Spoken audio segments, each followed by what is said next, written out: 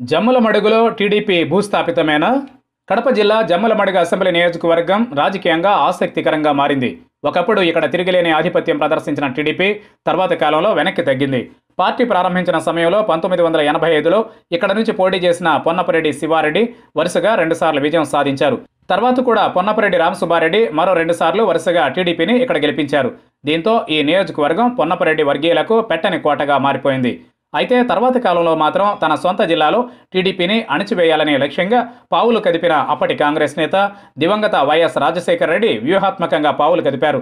తన ముద్రపడేలా జమ్మల మడుగు రాజకీయాలను మార్చేశారు. ఈ క్రమంలోనే రెండు వేల నాలుగు రెండు వేల తొమ్మిది ఎన్నికల్లో ఇక్కడ నుంచి కాంగ్రెస్ జయకేతనం ఎగరవేసింది. చదిపిరాళ్ళ ఆదినారాయణ రెడ్డి వరుసగా రెండుసార్లు విజయం సాధించారు. ప్రొఫెసర్గా ఉన్న ఆదినారాయణ రెడ్డి పాలిటిక్స్లోకి ఎంట్రీ ఇచ్చి జమ్మల మడుగు రాజకీయాలను శాసించారు. వైఎస్ అండదండలు కూడా పుష్కలంగా ఉండడం ఇక్కడ వైఎస్ ఫ్యామిలీకి పర్సనల్ ఇమేజ్ కూడా జమ్మల మడుగులో ఆదికి ప్లస్ అయింది. దీంతో ఇక్కడ టీడీపీ హవా తగ్గిపోయింది. ఇక రాష్ట్ర విభజన తరువాత ఆయన వైసీపీ గూటికి చేరిపోయారు. దీంతో రెండు వేల పద్నాలుగులో జగన్ ఆదికే టికెట్ ఇచ్చి గెలిపించుకున్నారు. రెండు వేల పదిహేడు వచ్చేసరికి రాజకీయ సమీకరణలు మారిపోయాయి.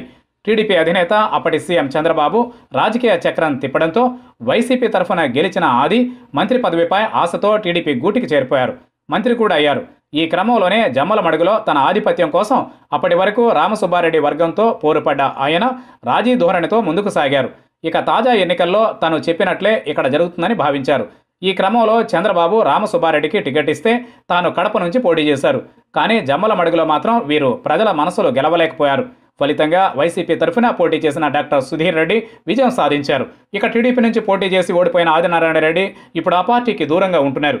రామసుబ్బారెడ్డి అవుట్ డేట్ అయిపోయారు. ఇన్ని ప్రయత్నాలు చేసినా తాను గెలవకపోవడంతో ఆయన రాజకీయంగా సన్యాసం పుచ్చుకునేందుకు రెడీ అయ్యారనే సమాచారం అందుతోంది.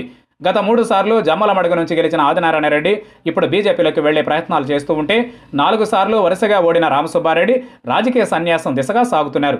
చంద్రబాబు నుంచి కూడా ఆయనకి ఎలాంటి భరోసా లభించడం లేదని తెలుస్తోంది. జమ్మల మడుగు రాజకీయాల్లో మూడున్నర దశాబ్దాలుగా రెండు వైరు వర్గాలకు నేతృత్వం వహించిన ఈ ఇద్దరు నేతలు కలిసినా కూడా అక్కడ వైసీపీ అభ్యర్థి సుధీర్ రెడ్డి ఏకంగా యాభై వేల ఓట్ల మెజారిటీతో గెలవడం ఎవరికీ మింగుడు పడడం లేదు. ఇక్కడ టీడీపీకి భవిష్యత్తులో నేతృత్వం వహించే నేతే కనుచూపు మేరలో కనపడడం లేదు. ఈ నేపథ్యంలో జమ్మల మడుగులో కనీసం ముప్పై ఏళ్ళు వైసీపీ తప్ప మరో పార్టీ కనిపించే అవకాశం లేదని అంటున్నారు పరిశీలకులు.